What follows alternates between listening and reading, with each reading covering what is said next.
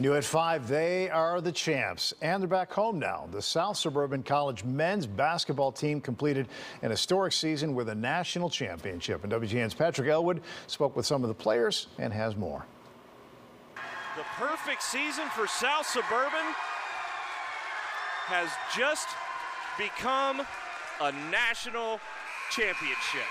Right here in Chicago's backyard, there's none better. Congratulations on being the champs. Thanks, Pat. Appreciate that. Thank you. Thank The South Suburban College Bulldogs just brought home the title in the National Junior Athletic Association Division II tourney. They were just special offensively and defensively. Head coach John Pagani tells me once his players bought into the system of his and had accountability for each other, he knew they were a force to be reckoned with, to say the least. But they only won by one point to advance into the playoffs. I think our guys thought they were holier than thou and uh, didn't come out with the uh, same intensity in the second half, but we survived.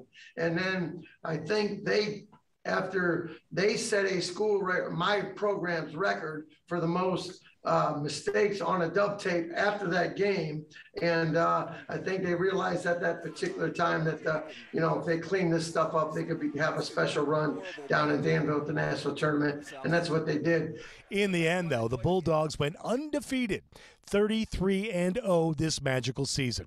Freshman guard DeMarco Miner was a standout at Thornton High School. Feel good. I feel real good. Miner was named the tournament MVP. I tried to go into the game as if it was just the same game as the 32 we had before that. Not treat it too big or treat it any less of what it was. Just listen to Coach X and O's. Whatever he tell us, execute the offensive game plan, defensive game plan, we was gonna come out victorious. Like, Right there beside him, now and throughout the season, is Cameron Donaldland, a West Aurora High grad who made the all tournament team as well.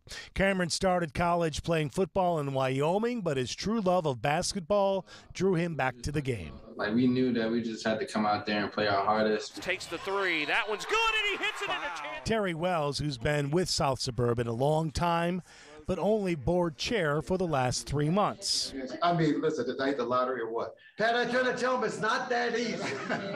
okay, it's not that easy.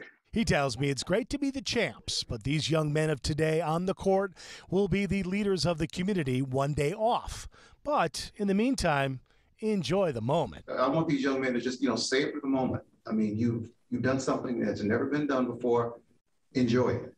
Enjoy it because maybe, uh, as I told them earlier, outside of maybe graduating from college and, and getting married, this is probably going to be the biggest thing that's ever happened in their lives. The Bulldogs beat Davidson Davie Community College 79 to 63 in Danville this past Saturday, entering the tournament as the top seed and the first national champs in school history, playing out before their fans and family. That was an amazing moment, just seeing my family there out there. We won. And a dog pile ensues on the floor. Are you on your victory tour now? uh, just enjoying the moment day by day. Just being grateful that we just in this position to just be national champ. Patrick Elwood, WGN News.